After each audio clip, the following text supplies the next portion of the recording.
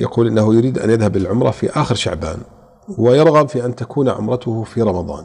فه- فكم ماذا يفعل؟ هل يؤخر ال- العمرة؟ إذا مثلا ذهب في 25 شعبان بقي خمسة أيام أو ثلاثة أيام على رمضان فهل يؤخرها حتى يعني حتى يدخل رمضان؟ أم أنه يعتمر ثم يعتمر مرة أخرى؟ ماذا يفعل؟ لا لا يؤخر يعني هو بالخيار.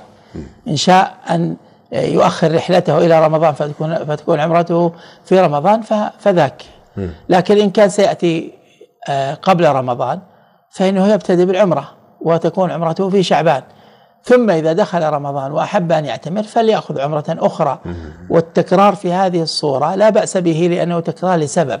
وما ينهى عنه من التكرار في في قول جماعة من أهل العلم إنما هو التكرار الذي لا سبب له. أما ما كان له سبب من الأسباب في التكرار كإدراك فضيلة زمان كفضيلة آه، رمضان مثلا آه، كفضيلة عمرة رمضان فإن هذا مسوغ للتكرار ولا كراهة فيه في قول جماهير العلماء. فيكون هنا قد افتتح مجيئه بالعمرة وكان سفر و- وهذا هو ال- ال- الفضل والأجر والخير والمطابق للسنة. ثم أدرك العمرة الأخرى بعمرة رمضان بعمرة أخرى بعد دخول شهر رمضان. نسأل الله يستعملنا وإياكم في طاعته آمين.